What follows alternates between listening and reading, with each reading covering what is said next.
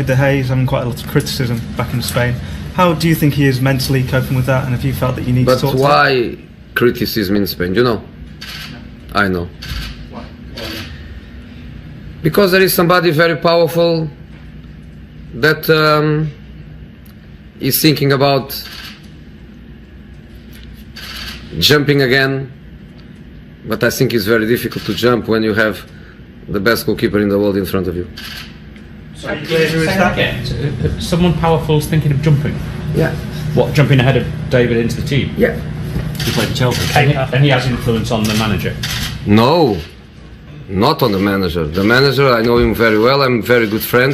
Or he's The- influence not on, the, on the media, manager. On the media. Yes. Did he used to play for Real Madrid? Oh yes. Uh, sorry. Did he used to play for Real Madrid? Yeah.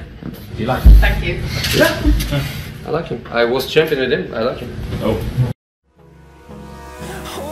Close till I get up. Time is barely on our side.